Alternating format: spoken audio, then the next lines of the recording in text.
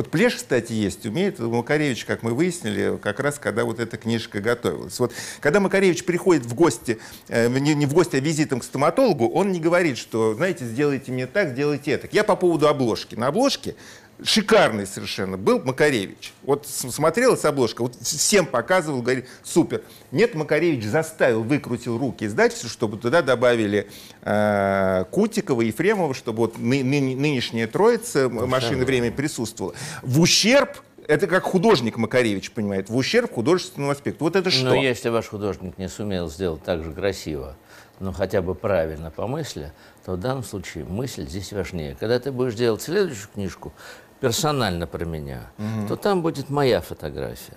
Угу. Листай себе книжку про историю Битлз, а там Пол Маккартни на обложке один. Вот какая была бы? Некорректная. Вот и все. Некорректное Абсолютно корректно. Потому что, Абсолютно потому что Битлз, они как вот основали квартетом, да. если не считать эту кратковременную историю с Питом Бестом, который ушел и был заменен Ринго Старом, они существовали вот этим квартетом. Хорошо, машине времени. Пример. Ладно. Машине другой времени пример. с того оригинального другой состава. Роллинг Стоунс.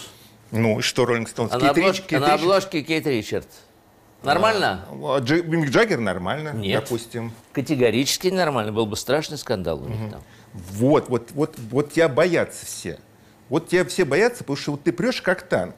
Ты знаешь, что у меня в одном издательстве, ну, в одном самом таком раскрученном журнале, не хочу его пиарить или программе, где публиковалось мое интервью, мое, про работу над этой книгой, мне сказали, а Андрей Владимирович Макаревич может нам прислать согласие на публикацию?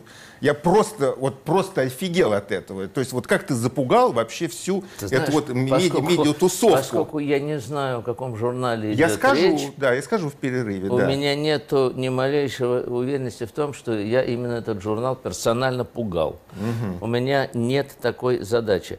Есть какие-то вещи, которым всегда необходимо уделять очень серьезное внимание. Потому что, например, ты сдохнешь, а книжка останется.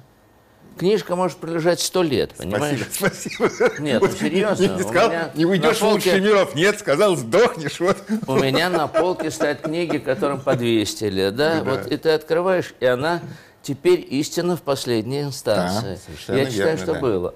А вот сейчас я вижу, что эта книжка, она славная, забавная. Она, конечно, не истина в последней инстанции. Ну, да. Поэтому если мы можем ее сделать в этом смысле, ну хотя бы приблизительно корректно, надо делать.